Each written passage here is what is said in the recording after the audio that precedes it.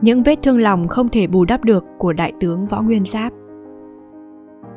Thưa quý vị, xuyên suốt lịch sử, đại tướng Võ Nguyên Giáp đã để lại dấu ấn lớn ở cả hai cuộc kháng chiến chống thực dân Pháp và đế quốc Mỹ, cũng như trực tiếp chỉ huy những trận chiến mang tính sống còn của dân tộc.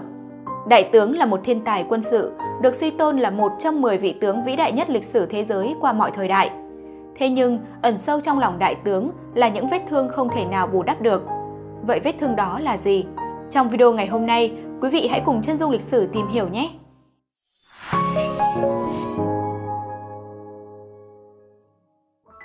Mối tình đầu Hai người đồng chí Mối tình đầu của đại tướng là nữ chiến sĩ cách mạng Nguyễn Thị Quang Thái.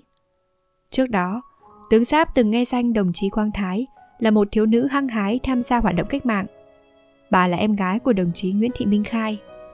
Cuộc gặp gỡ giữa hai người trên chuyến tàu Hà Nội, Vinh, Huế năm 1929 như một định mệnh. Bà Quang Thái từ nhà vào Huế nhập học trường nữ sinh Đồng Khánh. Tướng Giáp cũng đang trên đường công tác vào Huế. Cô gái có dáng vẻ dịu hiền, gương mặt trái xoan, đôi mắt đen rất sáng, toát lên vẻ cương nghị. Thông minh, đã để lại ấn tượng đặc biệt trong lòng tướng Giáp. Khi đó, Đại tướng Võ Nguyên Giáp đang làm việc tại Quan Hải Tùng Thư, biên tập cho báo Tiếng Dân. Tướng Giáp là người trực tiếp giao nhiệm vụ cho bà Quang Thái. Hai người thường xuyên gặp nhau để trao đổi công việc đoàn thể. Năm 1930, bà bị chính quyền thực dân Pháp bắt về tội tham gia lãnh đạo phong trào nữ sinh, kêu gọi đồng chí ủng hộ Xô Viết Nghệ Tĩnh và bị kết án 3 năm tù giam tại nhà lao Thừa Phủ. Cùng thời gian này, Đại tướng Võ Nguyên Giáp cũng bị bắt giam vào lao Thừa Phủ và bị kết án 2 năm tù vì tội viết bài tuyên truyền cho chủ nghĩa Mark trên báo Tiếng Dân.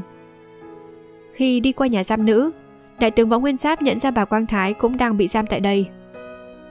Cuối năm 1931, bà Quang Thái cùng nhiều cán bộ Tân Việt như Đại tướng Võ Nguyên Giáp, đồng chí Võ Thuần Nho, đồng chí Đặng Thái Mai được trả tự do trước thời hạn do Hội Cứu tế Đỏ Pháp đấu tranh đòi thả tù nhân chính trị. Bà bị trục xuất khỏi Huế và bị quản thúc ở địa phương. Trở về Vinh, bà lại tiếp tục giúp mẹ bán hàng ở chợ và tham gia hoạt động cách mạng. Sau khi ra tù, Đại tướng Võ Nguyên Giáp và bà Quang Thái thường xuyên gặp nhau. Tình yêu của hai người được vun đắp bởi cùng chung lý tưởng sống, cùng trải qua thử thách gian nan. Năm 1934, bà cùng với đồng chí Lê Hồng Phong là đại biểu chính thức của Đảng ta dự Đại hội Quốc tế Cộng sản lần thứ 7 tại Moscow.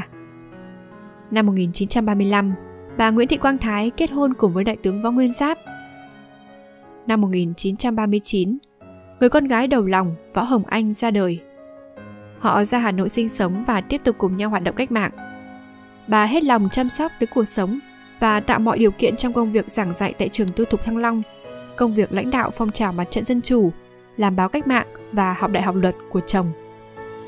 Bản thân bà vẫn tiếp tục những hoạt động của mình – phụ trách phong trào nữ trí thức và công thương. Trước khi Hội truyền bá quốc ngữ được thành lập, bà trực tiếp tham gia xây dựng hội tuyên truyền vận động, tổ chức các lớp học từ những ngày đầu. Cuộc chia ly không có ngày gặp lại. Từ đầu năm 1940, thời dân Pháp đầu hàng phát xít Đức và đã dùng chính sách, biện pháp phát xít hóa để tăng cường khủng bố, đàn áp phong trào cách mạng ở các nước thuộc địa. Các hoạt động cách mạng của đảng ta phải rút vào bí mật theo chủ trương của Đảng, tướng Giáp lên đường sang Trung Quốc để gặp lãnh tụ Nguyễn Ái Quốc nhận nhiệm vụ mới. Bà Quang Thái và chị là Minh Khai sẽ ở lại Việt Nam, tiếp tục giữ liên lạc. Chỉ có đồng chí Phạm Văn Đồng và tướng Giáp lên đường. Tình hình càng phức tạp vì lúc đó đồng chí Phạm Văn Đồng đang ốm và tướng Giáp biết rằng sẽ khó mà đi tự do, theo con đường công khai mà không bị mật thám phát hiện. Họ chuẩn bị hành trang rất kỹ và hoàn toàn bí mật. Bà động viên chồng, đây là một thời cơ lớn trên đã muốn anh thoát ly thì anh nên quyết tâm mẹ con em tự lo được mà chờ con lớn lên thêm chút nữa em gửi con trông bà nuôi. Em sẽ đi sau. Lời động viên đã tiếp thêm sức mạnh cho đại tướng võ nguyên giáp ra đi. Sau này tướng giáp đã tâm sự với con gái hồng anh. Nếu lần đó mẹ con không kiên quyết và chuyển cho ba thêm niềm tin sức mạnh thì có lẽ bà không dứt hai mẹ con đi được. Tướng Giáp và bà Quang Thái chia tay nhau trên bờ Hồ Tây vào một buổi chiều thứ sáu, ngày 3 tháng 5 năm 1940. Sau khi chồng đi, bà gửi con về nhờ mẹ chồng ở Quảng Bình chăm sóc để hoạt động cách mạng. Thời gian này, bà Thái đảm nhận thêm công tác thông tin liên lạc cho Trung ương Đảng. Khi đồng chí Nguyễn Thị Minh Khai cùng các đồng chí lãnh đạo khác của cuộc khởi nghĩa Nam Kỳ bị thực dân Pháp bắt và bị xử tử hình, bà Quang Thái đã có mặt tại phiên tòa. Trong một buổi xét xử của phiên tòa này, bà Quang Thái đã khéo léo hủy được mảnh thư của đồng chí Minh Khai ném cho đồng chí Lê Duẩn bị rơi ngay trước mặt bọn lính áp giải. Về sau, kể lại sự việc này, đồng chí Lê Duẩn nói Năm 1940, nhờ có chị Quang Thái nên tôi thoát khỏi án tử hình.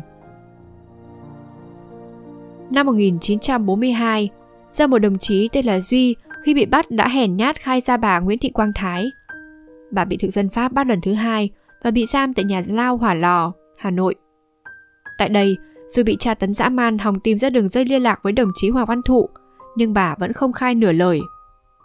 Nhà cách mạng Lão Thành Hoàng Thị Ái, nguyên bí thư đảng đoàn, nguyên phó chủ tịch Hội Liên hiệp Phụ nữ Việt Nam, từng bị giam cầm tại nhà lao Hòa Lò cùng thời gian với đồng chí Quang Thái, đã viết. Trong tù, Nguyễn Thị Quang Thái hết lòng chăm sóc, ân cần động viên chị em đồng chí dũng cảm, kiên quyết đấu tranh với kẻ thù, chống đàn áp, chống chế độ tra tấn, giữ chọn khí tiết của người đảng viên cộng sản. Trong trái tim nữ đồng chí kiên trung đã dâng hiến trọn đời cho lý tưởng, cho cách mạng, hẳn cũng nặng đầy nỗi nhớ thương hướng về người bạn đời, người đồng chí thân yêu mà bà không còn bao giờ gặp lại. Dù chỉ hơn một năm nữa thôi, cách mạng thành công, nước nhà độc lập. Những vết thương lòng không thể bù đắp được của đại tướng Võ Nguyên Giáp. Khi bà Thái bị bắt giam, tướng Giáp đã về nước theo chỉ thị của bác Hồ cùng các đồng chí lãnh đạo khác xây dựng chiến khu ca Bắc Lạng. Đại tướng không biết bà Thái bị bắt giam. Nhiều khi ngồi dưới gốc cây trong rừng đại ngàn, tướng Giáp mong đến ngày được gặp lại vợ và con gái. Do điều kiện hoạt động phải giữ bí mật, lâu lâu đại tướng mới gửi về nhà một bức thư viết trên mẩu giấy thuốc lá khi có liên lạc trực tiếp. Đại tướng không biết là bà Quang Thái đã hy sinh trong tù. Nhưng lá thư chứa chan tình yêu viết trên giấy thuốc lá mỏng manh vẫn tiếp tục gửi về địa chỉ của người đã mất. Cho đến một ngày, tháng 4 năm 1945, trong hội nghị quân sự cách mạng Bắc Kỳ họp tại Hiệp Hòa, Bắc Giang, Đại tướng Võ Nguyên Giáp mới nghe đồng chí Trường Trinh nói tin dữ. Chị Thái chưa kịp rút vào hoạt động bí mật thì bị chúng bắt. Cũng không ngờ là chị mất ở trong tù. Nỗi đau quá đột ngột, đại tướng lặng người hỏi. Anh nói sao? Đồng chí Trường Trinh ngạc nhiên. Anh chưa biết tin à? Quang Thái mất rồi ư? Bị sốc quá mạnh, tướng giáp bàng hoàng đi sang buồng bên, bỏ giờ cuộc họp. Đại tướng không ngờ cái ngày hôm ấy, cuộc chia tay ngắn ngủi, bị dịn bên hồ Tây, lại là lần cuối cùng được gặp người vợ thương yêu. Nén nỗi đau riêng, đại tướng trở lại với trách nhiệm của người chỉ huy đội tuyên truyền giải phóng quân. Trong trận chiến chống Pháp giải phóng dân tộc, đại tướng Võ Nguyên Giáp còn nỗi niềm riêng, trả thù cho người đồng chí, người vợ yêu đã hy sinh khi tuổi đời còn quá trẻ. Bà Nguyễn Quang Thái đã hy sinh khi mới vừa 29 tuổi. Đó là ngày 15 tháng 2 năm 1944. Lễ tang của bà tuy đơn giản, trong điều kiện bí mật và khó khăn, nhưng rất chu đáo. Bà nằm yên nghỉ tại một nghĩa trang nhỏ trong làng Tương Mai, Hà Nội. Sau ngày giải phóng miền Nam một thời gian, phần mộ của bà được Văn phòng Trung ương Đảng tổ chức chuyển về nghĩa trang Mai Dịch. Trong nhiều năm, gia đình của đại tướng Võ Nguyên Giáp còn phải chịu nhiều nỗi đau đớn do người Pháp gây ra. Chị Hồng Anh còn nhớ cái chết của ông nội Cửu Nghiêm. Năm 1947, khi Pháp trở lại chiếm đóng tỉnh Quảng Bình, nhiều người dân chạy trốn. Chị Hồng Anh viết Ông tôi không chạy đi đâu cả. Ông nói, tao già rồi, tao không làm điều gì phi pháp hay có hại cho ai. Ông còn nói, ông còn rất nhiều việc phải làm. Hồng Anh cũng kể lại, cô cũng đã phải chạy trốn như thế nào bọn trẻ chúng tôi được người lớn để vào trong thúng rồi gánh đi. Chị cũng nhớ cái thúng đong đưa theo nhịp chân bước của người gánh. Chị ghi lại. Tôi không bao giờ gặp lại ông nội nữa. Năm 1946, trong một dịp đi họp qua An Xá, Võ Nguyên Giáp rẽ về thăm nhà. Tháng 8 năm 1947, ông Cửu Nghiêm bị Pháp bắt trong cuộc hành quân mở rộng sự kiểm soát ra toàn xứ Trung Kỳ sau khi đã tái chiếm Huế Ông Cửu bị giam ở nhà lao Huế không xa trường quốc học. Bọn cai ngục yêu cầu ông công khai tố cáo hoạt động của con trai. Ông cụ từ chối. Chị Hồng Anh kể lại, ông bị chúng tra tấn. Một trong những nhục hình là buộc vào cái thanh đỡ va chạm sau xe ô tô bằng một cái thừng to rồi cho xe kéo lết đi. Ông Cửu Nghiêm bị cầm cố một mình trong xả lim cho đến khi nhận thấy trên sóng phát thanh lời kêu gọi con trai ông hạ vũ khí đầu hàng. Cuối cùng, bị kiệt sức với những đối xử tàn bạo, ông mất tháng 11 năm 1947. Đại tướng Võ Nguyên Giáp không có cách gì để cứu cha. Lúc này đại tướng Võ Nguyên Giáp đang ở Việt Bắc. Như chị Hồng Anh đã nhận xét, thi thể của ông Cửu bị vùi chung trong một cái hố. Gia đình không biết chắc ở chỗ nào mà tìm. Mãi về sau này, nhờ các chú rất dũng cảm. Những người đại tướng Võ Nguyên Giáp cử về, gia đình mới tìm thấy hải cốt đem về mai táng trong nghĩa trang liệt sĩ ở quê nhà. Chị Hồng Anh đã từng nói với người cha của mình với những lời lẽ đầy thương yêu. Ông mang trong tâm hồn những vết thương mà thời gian không bao giờ có thể xóa nhòa được. Vâng, những nỗi đau mất người thân không thể nào nguôi ngoai được trong mỗi chúng ta. Dù biết cha và vợ, hai người thân yêu nhất bị tù đầy, bị giết hại, nhưng vì sự nghiệp cách mạng mà đại tướng phải nén nỗi đau đó vào trong. Hy sinh hạnh phúc cá nhân vì hạnh phúc của cả dân tộc.